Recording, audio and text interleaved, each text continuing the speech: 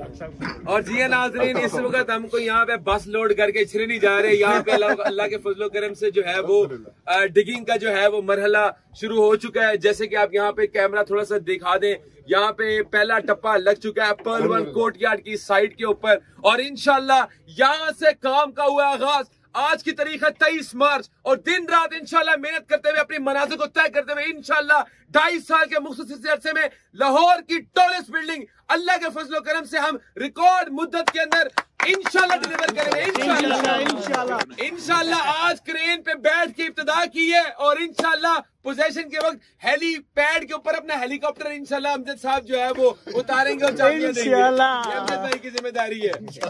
तो बाकी इंशाल्लाह तमाम भाइयों को मैं ये दावत देना चाहता हूँ कि आप लोग कल के फ़ंक्शन में ज़रूर शरीक हो। कल बड़ी ढेर सारी अनाउंसमेंट्स आपके लिए हैं और कल इंशाल्लाह अल्लाह के फजलो करम से चार बजे यहाँ पे फ़ंक्शन का आगाज़ होगा। हमारे बहुत ही मोजिज जो है वो मेहमान यहाँ पे तशरीफ़ लाएँगे। और सबसे गुड न्यूज़ ये है कि शेख आतिफ आ रहे हैं कराची से बहुत ही ज़बरदस्त मोटिवेशनल स्पीकर हैं। बिज़नेस के हवाले से यहाँ पे लेक्चर भी देंगे। फिर मोहम्मद अली भाई हैं यूथ क्लब से। फिर प्रोफेसर जवेद इकबाल हैं। उसके बाद जो है वो हमारे बहरिया टाउन के चीफ एडमिरल जाहिद इलियास साहब है, खुरम राजपूत साहब है। प्लस मैं ये समझता हूँ कि आप लोगों के लिए बड़ी खुशी की बात होगी। कल शाहिद महमूद कुरैशी साहब भी वीडियो लिंक पे हमारे साथ इंशाल्लाह ज्वाइन करेंगे। इंशाल्लाह। तो बाकी आप भाइयों को जो है वो दावत है।